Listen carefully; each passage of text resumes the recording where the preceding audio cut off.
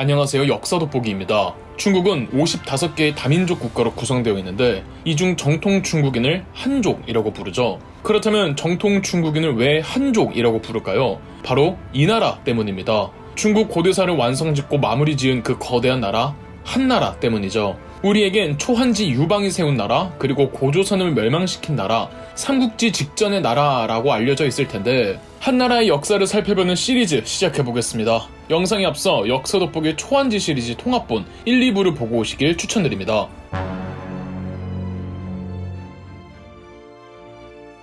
기원전 206년 한나라를 건국한 유방은 초나라의 항우와 일전 일대의 전투를 벌이며 기원전 202년 마지막 해하 전투에서 항우가 죽으면서 유방이 최종 승리를 거머쥐었습니다. 바로 초한지죠. 같은 해 유방은 지금의 시안인 장안의 수도를 정하고 황제로 등극하며 한 고조 유방이 됩니다. 새롭게 천하를 통일한 한 고조 유방은 국가를 운영할 제도적 고민을 해야 할 때였습니다.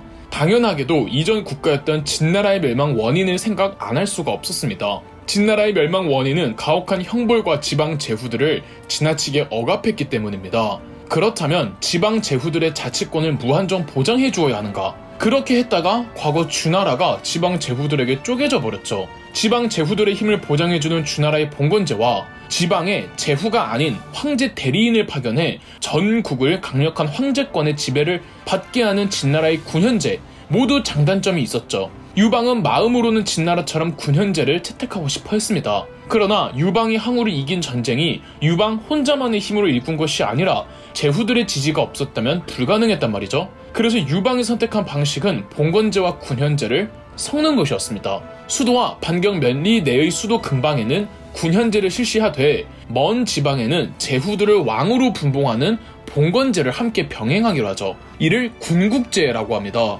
한나라 영토에서 3분의 1이 황제의 직할지이고 나머지 3분의 2가 제후 왕들의 영역이었습니다. 그러나 한 고조 유방은 유력 지방 제후들을 그대로 둘 생각이 없었는데요. 먼저 한신이 있었죠. 유방이 항우를 이기는 데 있어서 가장 결정적인 역할을 한 한신은 공을 인정받아 제나라 왕으로 봉해졌습니다. 그런데 한신은 얼마 후 군권을 전부 빼앗긴 뒤 제나라 왕에서 초나라 왕으로 변경되고는 곧 왕의 자격을 박탈당하고 제후로 강등됩니다. 그리고 반란을 일으키려고 한다는 혐의가 나돌자 한고조 유방의 아내이자 한나라의 일대 황후였던 여후가 한신을 처형시켰습니다. 실제 한신이 반란을 일으키려고 했는지는 미스테리이며 여기서 유리한 사자성어가 토사구팽이라고 하죠. 여후가 유방의 허락 없이 한신을 제거한 것을 나중에 알게 된 유방은 한편으로는 기뻐했고 한편으로는 안타까워했다고 기록되어 있습니다. 참고로 여후가 한신을 체포할 수 있도록 한신을 속여서 유인한 사람이 바로 소하였습니다. 유방이 별 볼 일 없던 시절 맨 처음 한신을 유방에게 대장군으로 추천한 사람도 소하였고 결말에는 한신을 죽인 사람도 소하였죠. 그리고 한신만큼 입지가 컸던 팽월과 영포조차도 모반죄로 몰려 전부 처형당했습니다. 한 고조 유방은 유력 제후 왕들을 모조리 숙청하고 대신 자기 친척들, 즉 황족들을 제후 왕으로 임명했습니다. 그러면 반란이나 독립 걱정을 할 필요가 없잖아요. 황제와 성씨가 같은 제후왕이라고 해서 동성 제후왕이라고 합니다.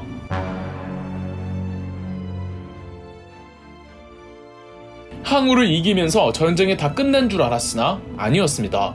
북방 몽골 초원지대에 분포하던 흉노족이 뭉치기 시작하여 북쪽 국경지대를 너무 자주 침략해오고 약탈하는 게 아니겠습니까? 흉노족은 이전부터 존재했지만 초원지대의 유목 생활을 산발적으로 하며 부족 단위로 분포되어 있었는데 한고조 유방이 중국 천하를 통일하던 비슷한 시점에 흉노족도 하나의 유목 국가로 통합됩니다. 바로 묵특 선우에 의해서 말이죠. 원래 흉노 제국이 탄생하기 전 흉노의 유력 부족장 중 하나로 두만이라고 있었습니다. 흉노족의 부족장 두만은 장남인 묵특이 아닌 차남을 후계자로 지목했고 묵특을 다른 유목민족에게 볼모로 보내버립니다. 심지어 두만은 아들 묵특을 죽이기 위해 일부러 그 민족을 자극까지 했으나 묵특은 버젓이 흉노로 살아 돌아와 자기만의 흉노 부족을 만든 뒤 주변의 다른 부족들을 흡수해 갑니다. 묵특은 1만 명의 호위병을 조직하고 그 호위병을 가혹하고 혹독하게 훈련시킵니다. 묵특의 부하들 훈련 방식이 독특하면서도 매우 냉정했는데요. 묵특은 명적이라고 불리는 신호용 화살을 가지고 다녔습니다.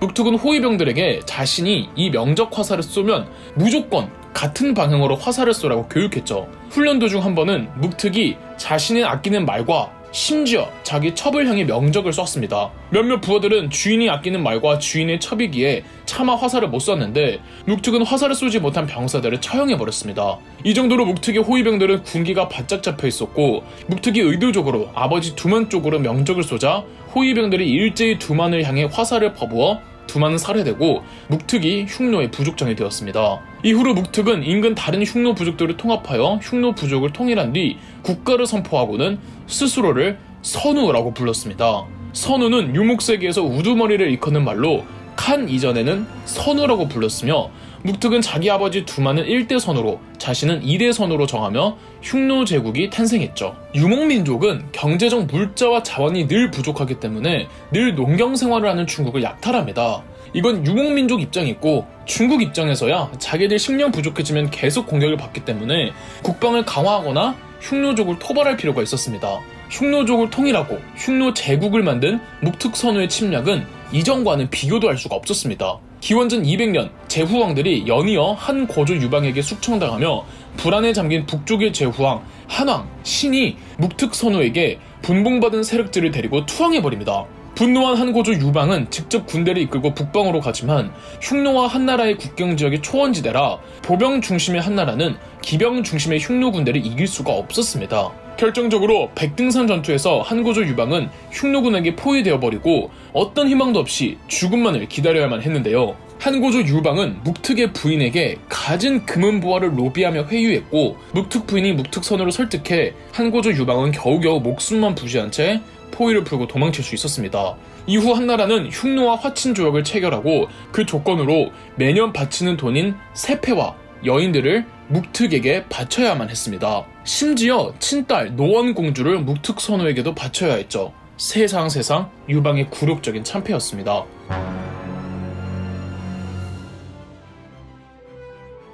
자, 이제 중국 한나라의 역대급 빌런이 등장할 차례인데요. 지금까지 언급했던 인물들 중에 있습니다. 바로 한신을 제거한 장본인 한나라의 일대 황후 여후입니다. 비록 한고조 유방도 한신을 경계하고는 있었으나 어찌됐든 여후는 한고조 유방의 허락 없이 자기 멋대로 일을 꾸몄습니다. 여후의 본명은 여치입니다. 지금은 산둥성 일부 지역인 서주, 폐현의 혈령이었던 여문의 딸로 여씨 집안은 나름 알아주는 권세 가문이었습니다. 여문은 자신이 담당하고 있는 마을 폐현에서 건달로 활동하는 유방을 보고는 장차 큰 인물이 될 인재라며 자신의 딸과 유방을 결혼시킵니다. 아주 탁월한 투자였죠. 과거 유방과 항우가 처절한 전투를 벌일 때도 유방의 아내였던 여친은 굳은 일 마다하지 않고 물심양면 유방을 할 수 있을 만큼 도와주었습니다. 항우한테 인질로 잡혔던 적도 있었습니다. 인질로 있으면서도 항우한테 죽일 거면 죽여라 라며 당당하게 나오기도 했다죠. 아마 이때까지 남편 유방도 그냥 자기 아내가 센키 정도로만 생각했을 뿐 그렇게 잔인한 미친 여자일 거라고는 생각을 못했을 겁니다. 한 고조 유방의 황제 등극과 함께 여후가 된 여친은 한신 제거 후 비로소 본색을 드러냅니다. 여후와 유방 사이에는 아들이 한 명 있었습니다. 여후가 황후였기 때문에 당연히 둘 사이의 아들이 태자로 임명되어 차기 황제를 이을 사람이었죠. 그런데 아, 이 유방에게 후궁들이 좀 있었습니다. 여후와 낳은 아들 외에도 7명의 아들들이 더 있었는데 이 아들들의 엄마가 다 달랐죠. 그중 한 고조 유방은 유독 척부인이라는 후궁을 총애했고 돌연 태자 자리를 여후와 낳은 아들에서 척부인과 낳은 아들 유여의로 교체하겠다고 해버립니다. 많은 신한들의 반대에도 꿈쩍 않던 유방이었지만 일찌감치 정치에서 은퇴했던 그 유명한 장자방이 다시 유방에게 찾아와 태자 교체는 절대 안 된다고 하자 그제서야 유방은 태자 교체 선언을 철회하기는 합니다. 그러나 이미 유방이 그런 선언을 했다는 것만으로도 여후에게는 척부인과 그의 아들 유여인은 적이 되어버린 거죠. 유방이 태자를 교체하려고 했던 건 척부인을 더 좋아해서 그랬을 수도 있겠지만 더 큰 이유는 여후를 상당히 걱정하고 있던 게 아닐까 합니다. 여후와 낳은 아들이 차기 황제가 되면 여후가 더 강력한 권력을 휘두를 텐데 가뜩이나 자기와 있을 때도 자꾸 황제 권한 넘보고 자기 허락 없이 제후들 죽이고 다니는데 자기가 죽은 이후는 어떻겠습니까? 유방의 걱정은 실현이 됩니다. 기원전 195년 한고주 유망이 사망합니다. 본인의 몸이 점점 안 좋아지던 때에 아무래도 황후가 마음에 걸렸는지 유방은 최측근, 왕릉, 주발, 진평 등과 함께 유씨가 아닌 사람은 왕으로 설 수 없다는 백마의 맹약을 체결합니다. 황후의 가문, 즉 여씨의 가문을 노리고 한 말이었죠. 그렇게 한고조 유방이 죽는데 지금부터 수이 세집니다.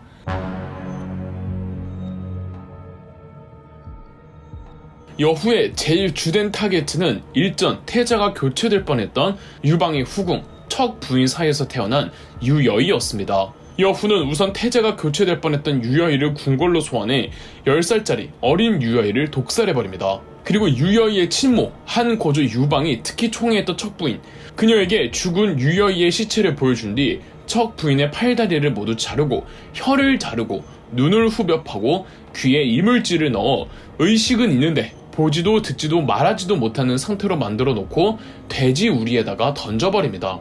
심지어 여후는 자기 아들 해제를 데리고 돼지 우리를 찾아가 척부인을 보고 비웃으며 조롱했다고 합니다. 이 모습을 본 2대 황제 해제는 너무 큰 충격을 받아 어머니 여후에게 이것은 사람이 할 수 있는 일이 아니다 라며 소리치곤 어머니가 무서워 정사를 모두 관심을 끈 채 술에만 의지하는 알코올 중독자가 되어버립니다. 어떤 기록에는 해제가 충격을 추스르고 1년 후에 다시 정사에 임했다고는 합니다. 재위 7년 만에 해제가 사망하자 기원전 188년 해제와 궁녀 사이의 아들이 3대 황제 소제로 즉위했습니다. 황제는 나이가 어렸고 당연하게도 모든 정치는 할머니 여후가 섭정을 했습니다. 그러면서 한고조 유방 때 지방의 제후왕도로 봉해졌던 유씨성의 황실 사람들을 모조리 패한 뒤 자기 일가 친척들 여씨 사람들을 모조리 지방 제후들로 임명하고 역시 자기 집안 사람들인 여대, 여산, 여록 등을 한나라의 남북군을 통솔하게 했습니다. 남군은 궁궐 수비대이고 북군은 수도 방위대입니다. 한고조 유방이 살아있을 때 유시성이 아니면 제후왕으로 옹립할 수 없다는 백마의 맹행을 맹세했던 왕릉 주발 진평 등이 여후에게 반대했으나 세 사람 모두 좌천되었고 한나라는 황제만 유시일 뿐 온통 여씨의 세상이 되었습니다. 더불어 여씨 집안의 여자들은 전부 유력 귀족들이나 황실 유씨들과 혼인을 맺게 했습니다. 아, 한 번은 여씨 집안 여자와 혼인한 유방의 일곱 아들들 중 또 다른 황제였던 유회도 여씨 부인을 두고 바람을 피우자 여후는 그 내연녀를 죽여버렸고 슬픔에 잠긴 유해는 스스로 목숨을 끊습니다. 한편 3대 황제는 자기 출생의 비밀을 알게 됩니다. 부친이었던 2대 황제 해제와 황후였던 효해황후 사이엔 아들이 없었고 3대 황제 소제는 해제와 이름을 알 수 없는 궁녀 슬하의 자식이었던 겁니다. 후사를 결정 지어야 했기에 효해황후는 궁녀로부터 아이를 빼앗아 양아들로 입적했고 할머니 여후가 소제의 친모였던 궁녀를 살해해버립니다. 사실을 알게 된 소제는 태후가 어찌 내 어머니를 죽이고 나를 아들로 삼을 수 있단 말인가 내가 아직 어리지만 장성하면 가만히 있진 않을 것이다 라며 복수의 사자후를 외치자 여후는 소제를 유폐시킨 뒤 암암리에 암살해버렸습니다. 그러곤 기원전 184년 해제가 다른 후궁에서 낳은 아들을 4대 황제로 옹립합니다만 이 아이는 대외적으로만 해제의 아들이라고 했을 뿐 출신이 확실하지 않아 해제의 아들이 아니라며 말이 많았습니다. 이 4대 황제도 3대 황제처럼 똑같이 소제였습니다. 구분하기 위해서 3대 황제를 전소제, 4대 황제를 후소제라고 부르는데 사실 중국사에 종종 등장하는 소제라는 시호는 어린 나이에 즉위하고 또 재위기간 짧게 어린 나이에 요절해서 시호를 받지 못한 황제들에게 임시적으로 붙여주는 칭호랍니다.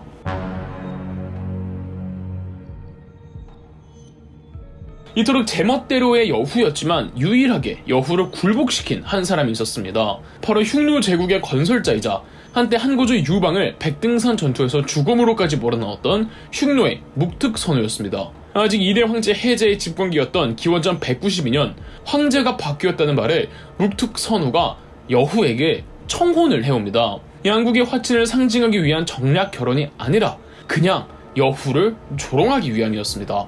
이 누가 황후이자 황제의 어머니인 태후에게 청혼을 한단 말입니까? 묵특선우의 청혼 서신 내용은 거의 뭐 성희롱이나 다름없었습니다. 나 외로운 군주는 연못 가운데 태어나 소와 말이 가득한 들판에서 컸으니 자주 중국의 변경에 이르러 논일고 싶었소. 이제 폐하도 홀로 되었고 독수궁방 외로우니 두 군주가 모두 즐겁지 않은 것 같소. 스스로 즐거워할 방법이 없으니 우리 서로 갖고 있는 것으로 갖지 않은 것을 바꾸어 보면 어떻겠소? 모욕적인 편지를 받고 분노한 여후가 흉노와 전쟁을 선포하지만 모든 대소신료들이 막았고 여후도 흉노와 싸우면 그다지 승산이 있다고 생각하지는 않았으며 오히려 자기 정권이 위태로워질까봐 비굴하게 거절합니다. 선우께서 저희 나라를 잊지 않고 글을 내려주시니 우리는 그저 두렵기만 할 뿐입니다. 물러나 가만히 생각해보니 저는 연로하고 기력도 쇠하였으며 이와 머리카락이 모두 빠졌고 보행도 주체할 수 없습니다. 선우께서는 과히 허물지 마시고 제게 그 같은 힘든 일을 요구하지 말아주십시오. 저희에게 죄가 없으니 마땅히 용서해 주시기 바랍니다. 대신 수레 두 대와 말 두 피를 보내드리니 항상 타고 다니는데 사용하시기 바랍니다. 아마 정권이 바뀐 시점에서 무특 선우는 여후에게 굴욕감을 주어 우월 관계를 확실하려고 했던 것으로 보입니다.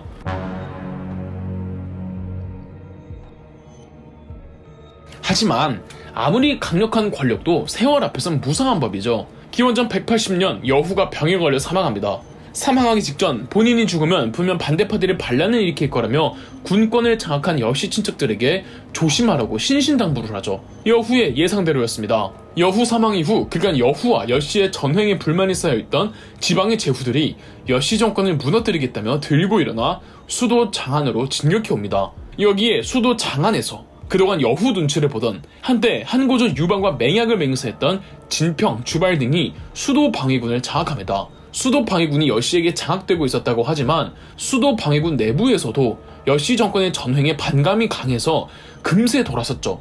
더불어 또 다른 반여시 세력이었던 황족, 유장이 궁궐을 장악합니다. 여시 정권은 친여파였던 관영 장군을 내세워 항전하지만 관영 또한 한때 한고조 유방과 함께 항우와 싸우며 죽음의 동고동락을 했던 사이 이건 아니다 싶은 관영이 돌아서서 반대로 여시 정권을 역공하면서 여시 정권은 무너집니다. 여시 집안 사람들 전원 다 참수되죠. 여후가 생전 옹립했던 4대 황제 소재는 해제의 아들이 아니라면서 유폐된 이후 암살되어 버립니다. 그리고 반정 세력은 한 고조 유방의 아들들 중 여후에게서 살아남은 한 사람이었던 넷째 아들 유항 황자를 5대 황제로 추대하니 바로 한 문제였죠. 기원전 180년 지구한 5대 황제 문제는 그간 여후와 열시 일가의 갖은 폭정과 공포 정체를 타파하기 위해 원래대로 돌아가기 위한 선정을 베풀었습니다.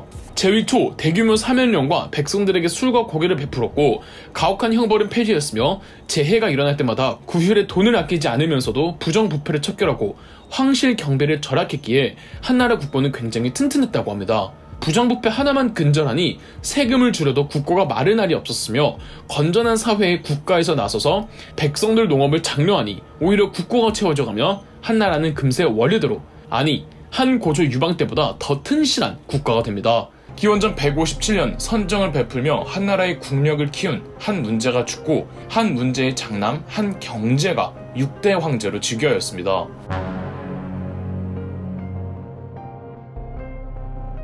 여후와 여시 집안의 전행 기간 지방의 제후왕들이 전부 여시로 득세하였다가 한 문제 집권기에 다시금 건국자 한 고조 유방의 방침에 따라 유시성의 황족들 즉 동성 제후왕들로 전부 교체되었습니다. 한 문제 집권기가 워낙에 평화시대라 동성 제후왕들의 권한이 비대해졌는데 당시 제후국들이 총 15개 한나라 영토의 3분의 2나 차지하고 있었습니다. 원래 한 고조 유방이 원했던 지방제도는 전국에 황제의 대리인 자격의 지방관을 파견하는 군현제였으나 제후들을 포섭할 필요가 있었기에 부득이하게 부분적으로 제후왕들을 봉했습니다. 설령 같은 황족들을 제후왕으로 임명했어도 중앙정부 입장에서는 자치권이 커진 지방 제후왕들이 여간 거슬리는 게 아니었죠. 무엇보다 중국은 땅덩어리가 큰 만큼 지역별로 풍부한 자원들이 다 달라서 중앙정부가 곳곳을 전체적으로 다 관리를 해야 다양한 자원과 물자들이 전국적으로 유통될 수가 있었습니다. 한 문제 때는 원앙, 가이 두 사람이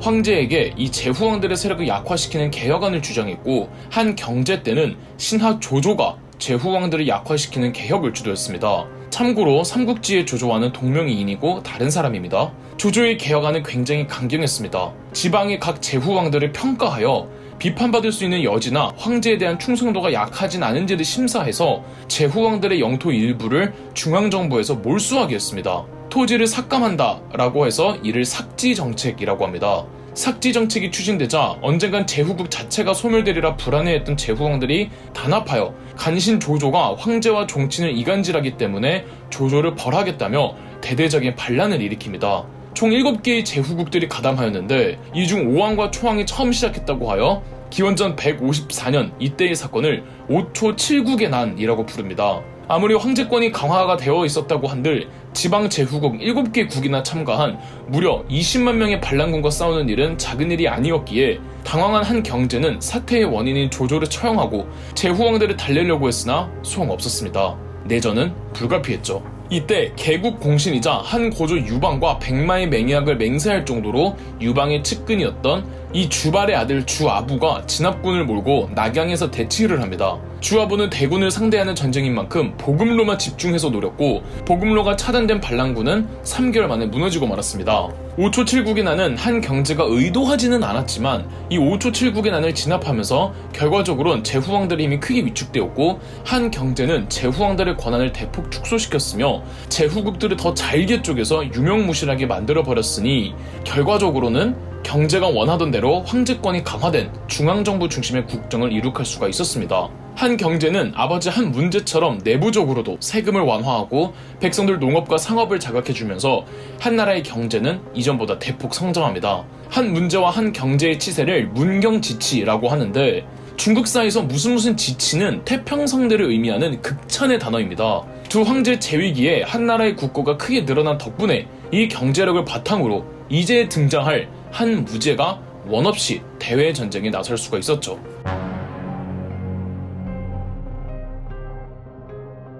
어느 나라나 각 나라별로 정복군주가 있는 법입니다. 중국엔 누가 있을까요? 징기스칸이나 강희제를 말씀하시는 건 아니시겠죠? 두 사람은 몽골인이고 만주족이잖아요. 그렇다면 한족의 국가들 가운데 중국사 원톱 정복군주를 꼽으라면 대부분 이 황제를 거론합니다. 바로 한 무제죠. 한 무제의 본명은 유철입니다. 이름부터 뭔가 간지가 나질 않나요? 이 유철은 한나라의 6대 황제 경제의 11번째 아들이었습니다. 심지어 어머니가 후궁이었죠. 그러니까 유철은 차기 황제를 이을 정통성이나 명분이 전혀 없었습니다.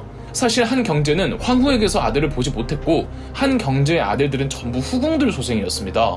그래서 따지고 보면 뭐 한 경제의 왕자들 전부 황후 소실의 적통은 아니었습니다. 그럴 경우 비록 후궁의 아들이더라도 그냥 장남이 황위를 잇는 법인데 어, 한 경제는 율희라는 후궁에서 낳은 첫째 유영을 황태자로 삼았습니다. 그런데 한 경제의 누나 관도공주와 훗날 무죄로 등극할 유철의 어머니 왕지가 연대해서 한 경제에게 황태자 유영과 유영의 생모 율희를 모함하고 이간질했고 안 그래도 너무 거드름 피우던 율희를 탐탁치 않아 했던 한 경제는 율희와 유영 모자를 내쫓아버렸습니다. 그렇게 유철이 새로운 황태자로 임명되었던 거죠. 그렇다면 관도공주는 왜 유철을 지지했을까요? 관도공주는 그저 유철의 고모일 뿐이란 말이죠. 관도공주의 딸이 유철의 아내였거든요. 유철은 교체된 황태자이기 때문에 황권 승계가 다소 불안정할 수밖에 없었습니다. 황권이 흔들릴까봐 노심초사했던 아버지 한 경제는 유철에게 황위를 물려주기 전 폐위된 황태자 유영의 측근 세력들을 내치고 은근히 차기 황제를 노리던 자기 동생의 권력도 억제시켰습니다. 그리고 기원전 141년 한 경제가 죽고 황태자 유철이 한 나라의 일곱 번째 황제로 등극하니 바로 한 무지였고 그의 나이 16살이었습니다. 16살이란 나이가 황제로 등극하기엔 어린 나이지만 그렇다고 마냥 아이도 아니잖아요. 어리숙할지언정 나름 상황 돌아가는 판을 읽고 판단을 내릴 수 있는 나이는 됩니다. 갓 즉위한 한 무제는 유학자 동중서의 건의안을 채택하여 적극적으로 유교를 진행시킬 것과 관리들을 똑똑한 유학자들로 선발하겠다는 입장을 내비추었습니다. 할아버지 한 문제와 아버지 한 경제 시절의 한나라는 유교를 국가적 원리로 내세웠을지만 실질적으로는 도가적 분위기가 더 지배적이었습니다. 한 무제는 이런 국가 풍속을 비판하고 더 철저하게 제도화된 유가적 통치 이념을 내세웠던 거죠. 한 무제의 할머니이자 한 경제의 엄마였던 효문황후 두씨가 16살 손자의 유교 전면화를 호되게 꾸짖었습니다. 두씨 일가가 원래 폐위된 유영의 측근 세력인지라 안 그래도 한 무제를 미워하고 있던 효문황후는 기존의 도가적 정치 이론을 고집했습니다. 한 무제는 처음에는 수용하는가 싶더니 이 할머니가 오래가지 않아 사망합니다. 효문황후가 죽자마자 한 무제는 두씨 일가에 대한 무자비한 숙청을 단행했습니다. 두씨 가문은 완전히 무너졌고 기존의 도가를 주장하던 대신들도 깡그리 물갈이 되었습니다. 그때 한 무제의 나이가 20살 정도였으니까 아 이 한 무제가 보통 내기는 아닌 거죠. 한 무제는 오경 박사를 설치하고 유학 교육기관인 명당과 태학을 설립하면서 공식적으로 유교를 국교화했습니다. 동아시아에서 유교를 통치 이데올로기로 제대로 삼은 첫 시발점이 바로 이 한 무제였던 겁니다. 한 무제가 기존의 도가적 질서에서 벗어나려고 했던 건 본인이 불안정하게 황권을 계승받았으니 반대파 세력들을 내쫓아버리기 위한 수단으로 해석하시면 될 것 같습니다. 더불어 유교는 위계 질서, 예의 범절 등의 수직적이고 체계적인 시스템 정비를 강조하기 때문에 통치자 입장에서는 강력한 황제권을 바탕으로 체제를 정비하기에 더할 나위 없이 좋았습니다. 일단 자유분방한 도가는 전제군주권 확립을 위해선 별 소득이 없는 정치 철학이었죠.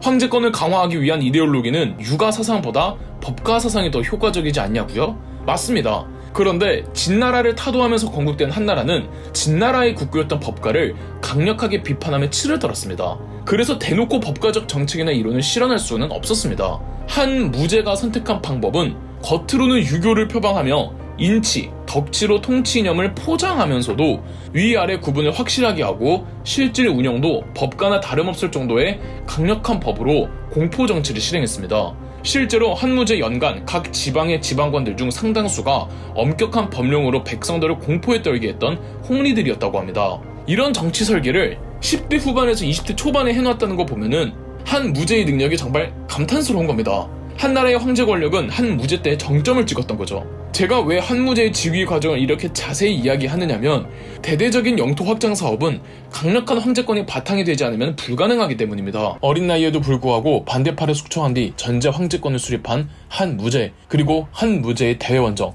바야흐로 시작합니다. 한 무제의 중앙 집권화 개혁은 비단 육아를 내세운 것만이 전부가 아니었습니다. 한 경제 시절 5초 7국의 난으로 약해진 제후왕들이 모조리 와해된 시점이 무제 때였으며 무제는 더 이상 지방의 제후왕들을 분봉하지 않고 지방 곳곳에도 황제의 대리인인 지방관을 보내 전 국토를 황제의 직할지로 만들었습니다. 더불어 개국공신의 2세들이 한나라 조정 전체를 장악하고 있던지라 그들의 기득권이 황제권에 부담되어 한 무제는 최측근을 양성하기 위해 향거리 선제라는 새로운 인재 채용 방식을 시행합니다.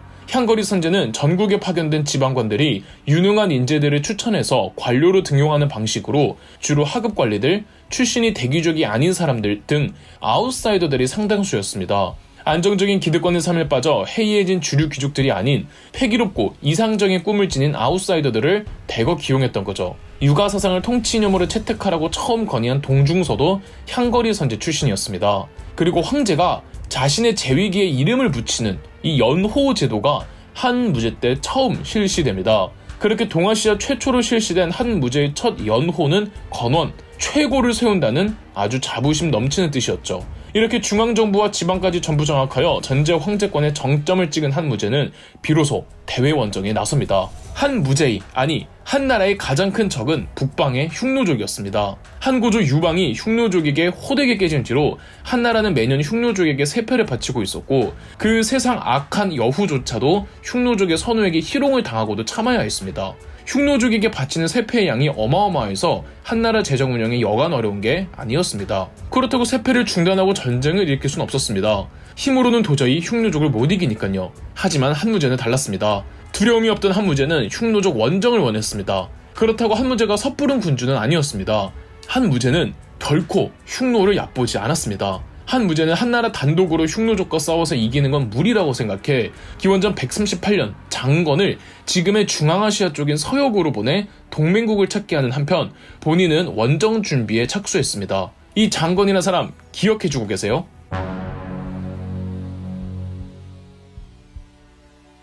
기원전 133년 한 무제는 무려 30만 원정군을 편성합니다. 첫 원정인 만큼 한 무제는 신중했는데 왕회라는 신하를 이용해 흉노족의 군신 선우에게 거짓 항복을 하게 하고 군신 선우가 왕회를 만나러 내륙 깊숙이 들어오면 매복해서 기습할 계획이었습니다. 거짓 항복을 믿게 하는 데까지는 성공을 했으나 한나라 내부로 들어오던 흉노족의 군신 선우는 수상한 낌새를 알아차리곤 돌아가 버리는 바람에 야심찬 1차 원정의 결과는 별 소득 없이 끝나버렸습니다. 군 신선우는 한나라의 도발에 노발대발했고 전쟁은 더 이상 불가피하게 되어 한 무제도 반격을 준비해야 했습니다. 20대 중후반 혈기왕성한 한 무제는 한 번의 실패에 굴하지 않고 기원전 129년 2차 북벌 원정을 감행했습니다. 어차피 흉노족의 군신 선우를 건드렸으니 언젠간 쳐들어올 것이고 그 전에 선제 공격하려는 것이었죠. 이번엔 1차 때처럼 많이 동원하지는 못하고 4만 명을 4개 부대로 나누어 흉노족이 있는 고비 사막으로 진격하게 했습니다. 4개의 부대 중 3개의 부대가 흉노족에게 초토화되었지만 유일하게 1개의 부대만 승리를 했습니다. 승리 정도가 아니라 한나라 건국 이래 유례없는 대승리였습니다. 지휘관은 바로 위청이었죠. 위청은 한 무제의 대표적인 명장이었습니다. 위청은 아버지가 위청 어머니와 간통해서 낳은 아이로 어머니가 워낙 천출이라 위청도 신분이 상당히 미천했습니다. 아버지가 그래도 자기 아들이라고 시킨 일이 양치는 일이었고 조금 있다가는 한 무제의 누나 시중 드는 일을 하는데 거의 종이나 다름없었죠. 한 무제가 아이를 낳지 못하는 황후와 점점 사이가 나빠지자 동생 가볍게 여긴 한 무제 누나가 자기 시녀를 소개해 주었습니다. 그 시녀에게 뿅 간 한 무제는 그녀를 바로 후궁으로 삼았는데 이 여인의 이름은 위자부, 바로 위청의 여동생이었습니다. 여동생이 후궁이 됐는데 언제까지 종으로만 살 수 없던 위청에게 한 무제가 그래도 후궁의 오빠니까 한미한 군인관직을 주었습니다. 같이 어려서 개고생하던 위자부는 한 무제에게 오빠 위청을 잘 봐달라고 여러 번 부탁했고 위자부에 빠져있던 한 무제는 위청을 특급 고속 승진을 시켜주었습니다. 위청은 낙하산 중에 낙하산이라 군부 내에서도 시선이 곱지 않았는데 한 무제의 2차 흉노 원정 때 혼자서 혁혁한 공을 세우며 일약 한나라의 영웅으로 성장합니다. 한 무제도 본인의 자존심을 세워준 위청을 총애하기 시작했습니다. 기원전 127년 흉노족이 한나라의 국경을 다시 침범해오면서 국경 지역에 쑥대밭이 되었습니다. 한 무제는 위청을 보내 방어하게 했으며 방어에 승리한 후에는 기원전 126년 더 북쪽으로 진군하라는 지시를 내려 3차 원정에 나섭니다. 이때 위청은 3만의 병력으로 고비 사막에서 1만 명을 살상했으며 수천 명의 포로를 잡고 소와 양 등의 가축 100만 두를 노획했습니다. 한 무제는 3차 원정 때 위청이 넓혀놓은 영토에 삭방군이란 특수 군사 행정구역을 설치하고 이후 흉노와의 전쟁을 위한 전진기지로 삼았죠. 기원전 124년에는 군신 선우의 뒤를 이은 흉노족의 새로운 선우 이치사 선우가 한나라로 또 쳐들어오자 이번에도 위청이 삭방군을 기지로 방어에 성공한 뒤 더 북성하여 우현왕이라는 흉노의 부족장을 죽이고 남녀 1만 5천여 명을 포로로 잡으며 4차 원정도 대성공시켰죠. 연이은 공로로 한 무제는 위청에게 막대한 상을 하사했으며 심지어 한때 위청이 모셨던 한 무제의 누나 평양공주와 혼인합니다. 이후 5차, 6차까지도 위청은 흉노족을 격퇴하며 승전보를 굴렸습니다. 위청은 정벌 전쟁 때 늘 데리고 다니던 조카가 있었습니다. 바로 곽거병인데요. 이 젊은 패기의 곽거병은 항상 선봉장을 자처하며 흉노족 진영을 종횡무진 누볐다고 합니다. 첫 원정 당시 곽거병의 나이가 18살이었는데 딱 800명만 데리고 흉노 부족들이 개박살 냈다고 합니다. 다른 부대들은 고전을 면치 못할 때 곽거병의 부대만이 기련산에서 수급 3만을 베며 전세를 역전시킨 적도 있었죠.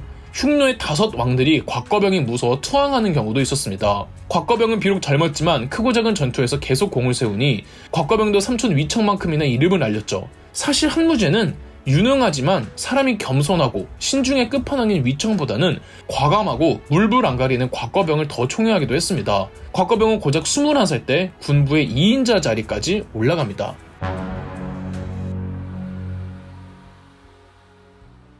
한 무제의 흉노 원정에서 최종전 마지막 하이라이트는 바로 이 전투입니다. 기원전 119년 7차 원정이었던 막북 전투죠. 한 무제는 더 이상의 정벌은 없을 거라는 각오로 아주 작정하고 10만 병력을 모은 다음 위청과 곽거병에게 각각 5만씩 이끌게 했습니다. 위청은 흉노의 메인 부대인 이치사 선우의 부대에 집중하겠다며 포로 신문 후 이치사 선우의 부대가 있는 쪽으로 향했습니다. 이치사 선호도 한나라군의 총사령관인 위청부터 공략할 생각이었고 한나라군이 원정으로 오는 입장에서 사막까지 오면 지칠 것이라 판단해 자신있게 이치사 선호와 위청의 부대가 각각 사막에서 맞붙습니다. 보스 대 보스의 대결인데 위청은 특유의 신중한 전략으로 이치사 선호의 부대를 포위하는 데 성공 이후로는 일방적인 학살을 시작했고 흉노군 1만 9천 명이 전사합니다.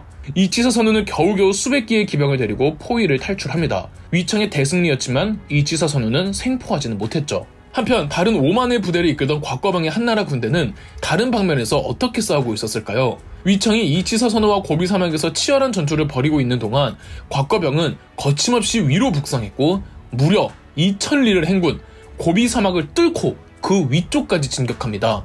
어디까지 올라갔느냐고요? 러시아 바이칼 호수까지 올라갑니다. 이 사이에 셀 수 없을 정도의 흉노 부족장들이 투항했고 무려 흉노족 7만 명을 참수합니다. 보급은 현지 흉노족을 약탈해서 조달했습니다. 전형적인 흉노족 전술로 흉노족을 박살낸 거죠. 이 전투가 막북 전투입니다. 위천과 곽과병이 지휘한 한 무제의 흉노 원정으로 흉노족은 너무 큰 피해를 입었고 특히 막북 전투로 흉노족 전체가 고비 사막 이북으로 쫓겨나게 됩니다. 그래서 막북 전투라고 부르는 거죠. 막은 사막, 즉 고비 사막을 의미하며 막북이란 고비 사막의 북쪽을 뜻하거든요.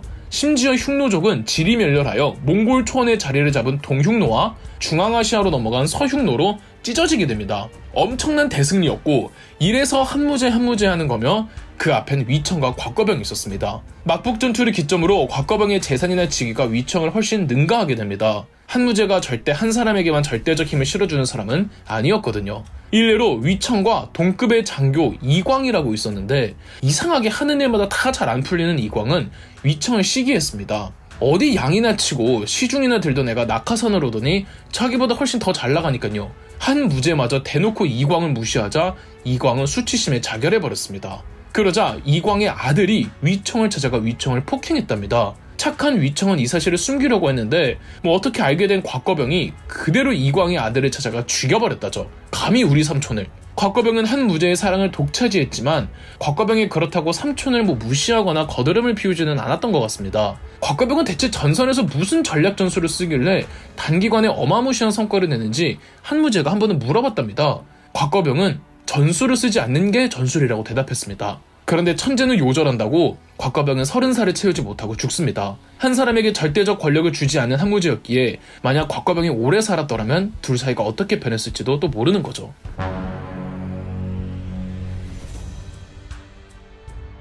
참, 한무제가 본격적인 흉노원정에 나서기 전에 동맹국 찾아오라고 서역, 그러니까 중앙아시아로 보낸 장건이 기원전 125년, 13년 만에 귀국합니다. 그것도 출발할 때는 100명에 달했던 인원이 돌아올 때는 겨우 2명 뿐이었죠. 한무제가 왜 이렇게 늦게 왔냐고 물어보자 사연인 즉슨 장건은 갈 때 흉노족들에게 붙잡혀 10년 포로 생활을 하고 겨우 탈출했다가 돌아올 때 또 흉노족들에게 잡혀서 1년 고역살이를 하다가 겨우겨우 도망쳐 나왔다는 겁니다. 심지어 원래 목표했던 대월지국으로 가기는 갔는데 대월지국에서 흉노족이 무섭다고 흉노족이랑 싸우기 싫다는 겁니다. 고생 고생만 하다가 귀국한 장건은 한 무제에게 오선이라는 유모 국가와의 동맹을 추천하고 이를 위해 다시 오선으로 떠납니다. 그런데 또 동맹이 실패합니다. 대신 장건은 다시 한나라로 귀국하는 과정에서 중앙아시아의 여러 국가들을 방문하면서 한나라를 알리고 한나라와의 국교를 성사시킵니다. 장건이 처음 개척했던 이 길을 통해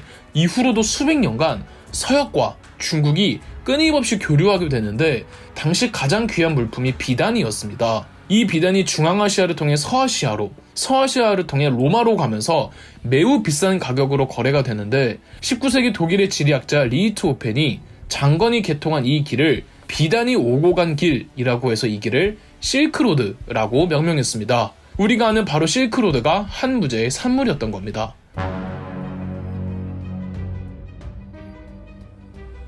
기원전 133년에서부터 119년에 이르기까지 20년이 조금 안 되는 기간 총 7차례의 흉노 원정 결과 흉노족을 고비사막 위쪽으로 쫓아내는 데는 성공했지만 이토록 긴 대외 원정은 한나라 국가 재정에 엄청난 타격을 주었습니다. 예나 지금이나 전쟁 한 번만 해도 어마어마한 국가 예산이 소모되죠. 따라서 한 무제는 국가 예산 확보를 위해 새로운 경제 정책을 고민하고 있었고 그렇게 상홍양이 등용됩니다. 상홍양은 상인 집안의 아들로 샘을 워낙 잘하기로 유명해 일찍이 국가 관청에서 일하다가 한 무제의 눈에 발탁되어 일종의 재정장관으로까지 진급합니다. 막북대전 1년 전이었던 기원전 120년 한 무제가 한창 막북대전을 구상하고 있을 때 국가 예산이 절대적으로 많이 필요하다 보니 상홍양에게 자문을 구했고 상홍양은 염철 전매제를 제안했습니다. 많은 감론을 바 끝에 막북대전을 코앞에 둔 기원전 119년 실시된 염철 전매제는 중국 경제사에서 가장 중요한 사건 중 하나랍니다. 염철 전매자란 그간 민간에 맡겼던 소금 산업과 철 산업을 더 이상 민영화하지 않고 궁영화한다는 정책이었습니다. 소금과 철이라니 한 사회를 운영해 가는 데 있어서 가장 필요한 두 가지잖아요. 소금과 철 공장을 국가관청에 귀속시키고 중개업자와 공급자들도 전부 공무원이 됐다고 보시면 됩니다. 소금과 철을 국영화하니 그 효과는 엄청났습니다. 나중에는 술 산업도 국영화해버리죠. 한 무제 때의 염철 전매자가 선례가 되고 그 효과가 국가 예산에 얼마나 강력한지 아니까 이후 모든 중국 왕조들은 적어도 소금만큼은 전부 전매제, 즉 국영 사업으로 운영합니다. 소금 사업을 국가가 독점하고 민간 상인들의 소금 장사를 금지하니 무슨 일이 일어날까요? 밀수가 성행합니다. 지하 경제가 활성화되는 거죠. 그래서 중국사에서 중국의 역사를 뒤바꾸는 사건에는 늘 그 시작이 불법 소금 장수들로부터입니다. 앞으로 중국사를 접하실 때 이 불법 소금 장수들에게 한번 집중해 보세요.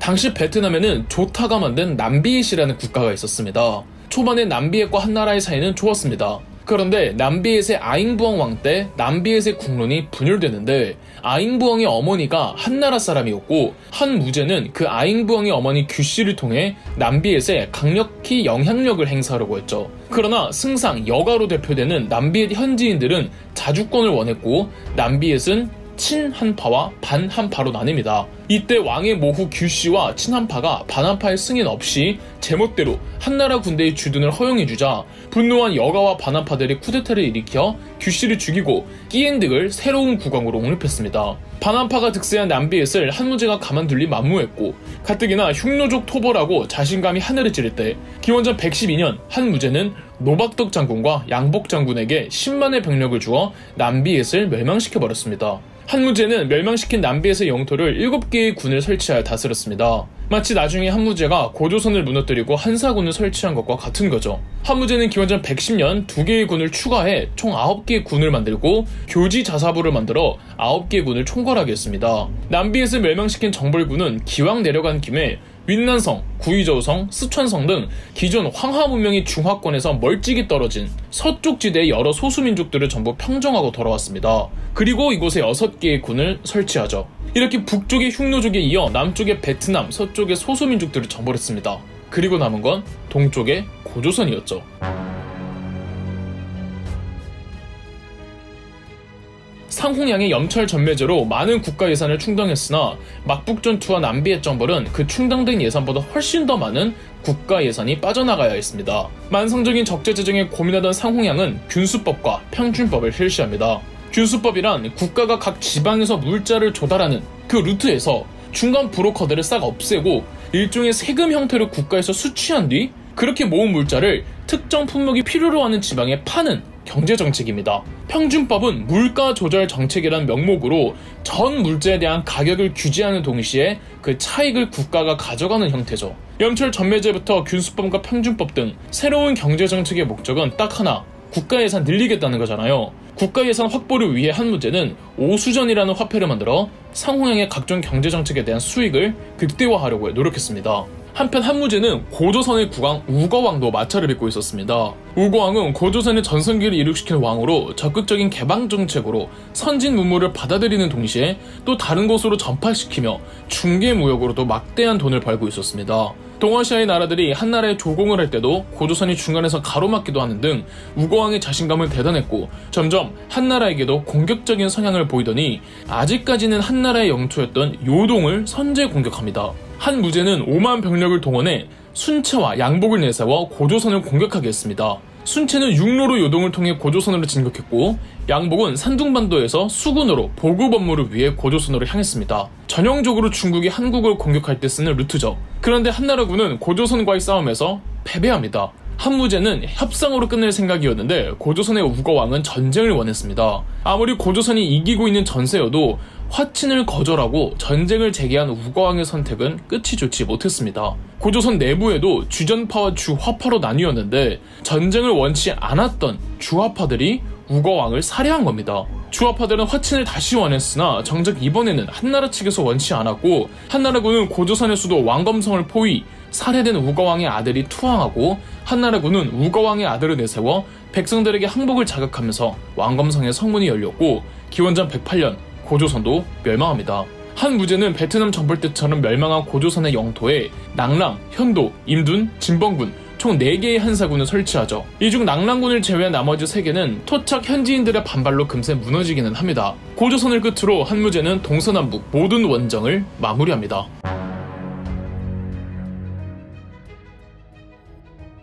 한무지 시기 중요한 또 한 사람이 사마천입니다. 사마천의 아버지는 천문과 역법을 연구하는 총괄자였고 어려서부터 아버지를 따라 한나라 전국을 여행 다니며 식견이 굉장히 풍부했다고 합니다. 워낙에 여행을 많이 다니며 28살이라는 비교적 늦은 나이부터 관직 생활을 시작합니다. 사마천도 한 무제의 정벌전에 참여하기도 했고 아버지와 비슷한 관직을 역임했죠. 여행 경험이 풍부하고 보고 들은 식견이 넓다 보니 과학적 지식과 재능이 출중했겠죠. 그런 사마천에게 일생일대의 위기가 찾아옵니다.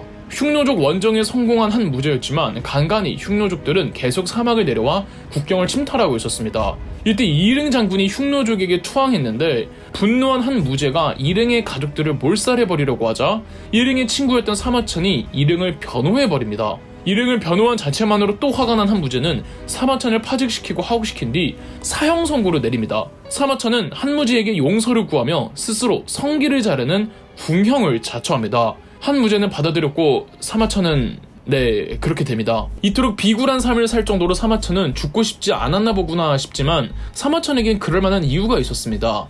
해야 할 일이 있었거든요. 사마천의 아버지가 중국의 모든 역사를 총망라하는 책을 집필 중이었는데 미처 완성하지 못하고 죽었고 사마천에게 남은 책의 완성을 맡긴다는 유언을 남깁니다. 사마천은 어떻게든 이 역사서를 완성하고 싶어 했고 차마 죽을 수가 없어서 궁형을 자처했던 거죠. 그리고 기원전 92년 마침내 사마천은 130여 권의 모든 중국사를 집대성한 여지껏 존재하지 않았던 역사서를 완성하니 이름하여 사기입니다. 사기는 동양에서 가장 중요한 역사서를 평가받고 있으며 향후 동아시아에서 모든 역사서의 모델이 된 책이기도 합니다. 한국의 고려시대에서도 한국판 사기를 만들겠다고 김부식이 집필한 게 삼국 사기인 것처럼요.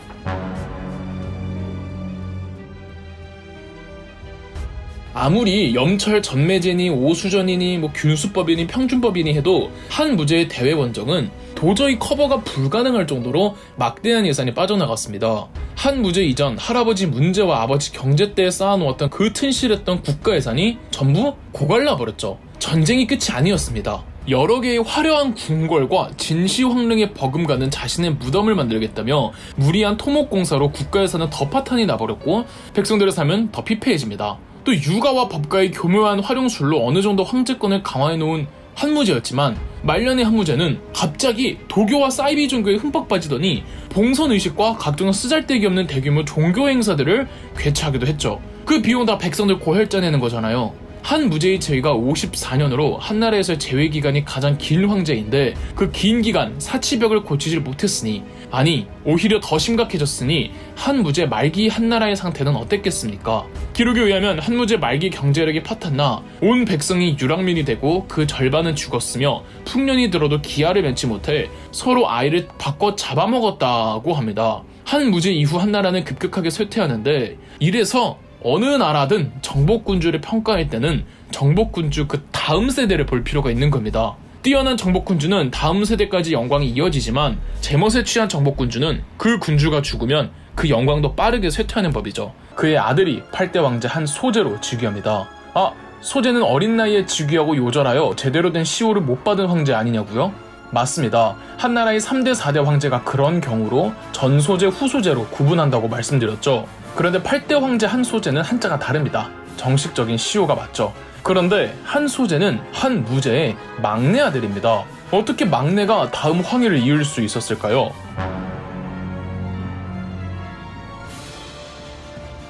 기원전 91년 승상 공손화와 한무제의 황후였던 위황후가 거대한 국가 예산을 횡령한 비리 사건이 터졌습니다.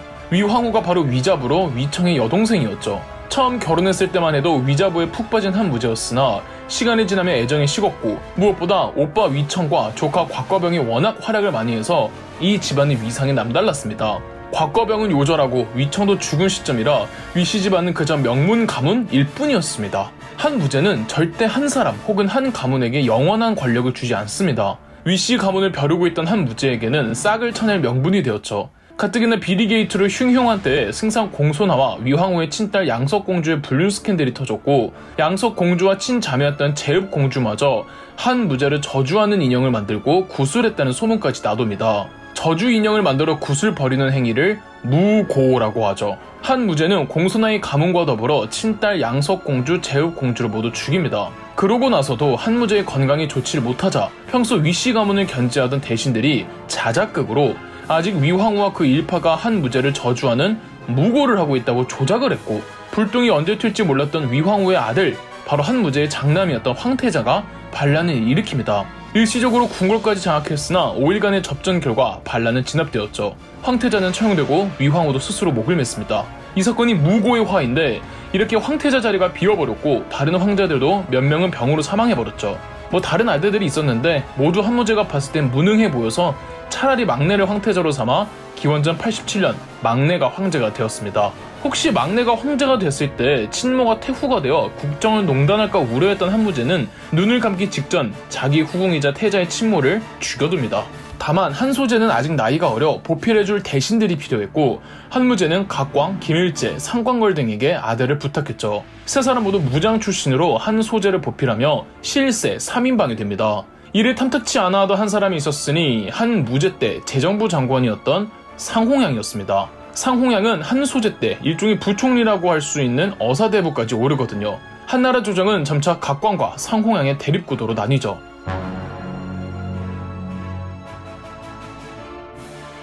기원전 81년 곽광 등의 세력들이 과거 상홍양의 제안에 따라 실행되었던 염철 전매제, 평준법, 균수법의 실효를 문제 삼으며 모든 정책의 폐기를 주장했습니다. 상홍양을 견제하기 위함이었죠.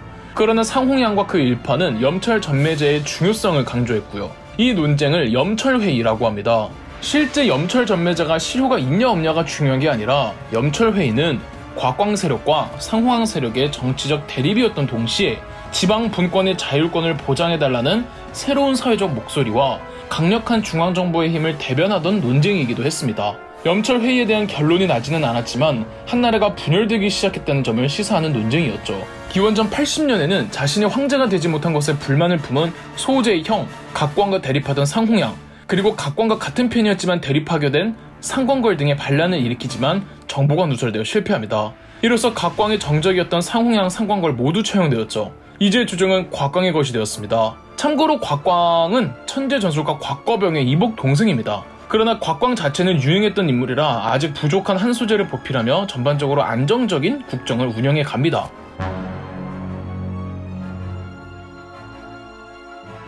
단 한 소재는 기원전 74년 21살의 어린 나이로 사망했습니다. 당연히 아들이 없었고 각광은 한 소재의 조카 유화를 구대 황제로 옹립했으나 워낙에 제멋대로고 물란하게 짝이 없어서 곧바로 각광이 폐위시켜버렸습니다. 그러곤 무고의 화때 죽은 황태자의 손자를 10대 황제 선제로 옹립했습니다. 각광은 황제를 폐위시키거나 옹립할 정도로 권력이 막강했고 선제 즉위 3년 후에는 딸을 선제와 혼인시키며 황제의 장인어른이 되었답니다.